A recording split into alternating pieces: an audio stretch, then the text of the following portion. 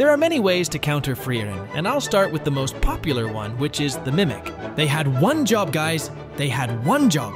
All they have to do is pick up that Mimic, and Frieren clone will be trapped like this.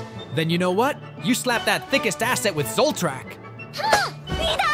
The second one is to make Fern's clone jealous. Let them hug, cast Zoltraak faster than Mach 1, then boom, you have your free easy donuts. The third one is to tame her. But how? You stack 'em meats. Congrats, you now have your first Pokemon. You can do anything to her.